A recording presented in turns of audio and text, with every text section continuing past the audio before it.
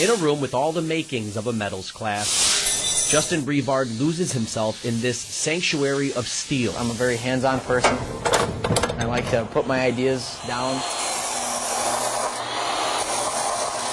Then cut them, shape them, and fuse them into a creation all his own. Man, I can't even remember how much stuff I've made in here. Funny, considering his latest project is unforgettable. When you're welding, a lot of times for teaching welding, you can just put two pieces of metal together. But what we were hoping for is to look at ability to be able to solve a problem. Justin found it during active shooter training at Somerset High School. The the main problem was all these all these kids in a building who have nothing but a door to keep them safe.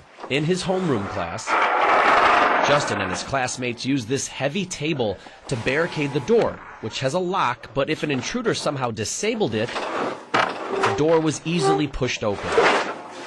Even with the table. That's where I thought, you know what, this is something that I need to go after, and this is something that was kind of made for me to do. Justin put on his thinking cap. It started out with a few drawings. And got to work. Justin has a motor that just doesn't stop. It was kind of hard at first, but once I kind of got onto one part, then it was like, okay, that makes sense. It starts with two steel plates cut to a specific shape.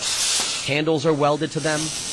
Then a rod and tube are welded on to connect the ends. Add a locking knob and voila, you have a device named Just In Case. This is the, the thing that can save thousands of lives if it's if it's used properly. Now, instead of reaching for a table or some other object to block the door, students and staff simply reach for the just-in-case device. All they need to do is slide it under the door, turn the knob and extend the jams out, lock the knob, and no matter how hard I push on the door, I can't get through. As the door is being pushed back, it also lifts up on this plate. And because the plates are locked into the door jambs like a puzzle piece, they're able to withstand immense pressure. Once I made the prototype, I took it to every classroom and I asked teachers, you know, what do you think about it? What do you do you think that this is a good idea? I think it's a game changer. Principal Shannon Donnelly believes that so much, she encouraged Justin to pursue a patent on his invention, which he received. Then she helped him pitch the importance of the device to the school board, landing him his first sale. I wouldn't be pushing this hard for people to really take a look at this kind of a device if I didn't think that it, it, it, had a major, you know, major piece in what we're doing in terms of safety and security. During his summer off, Justin built enough devices for every classroom and conference room in the high school. They're usually found right next to the door, or at least within arm's reach. I have mine sitting underneath my desk.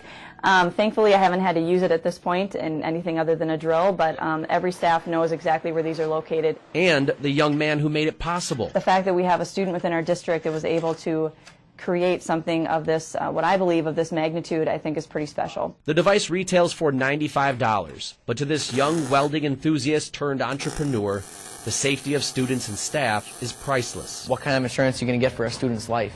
This is the insurance right here. Jeff Wagner, WCCO 4 News.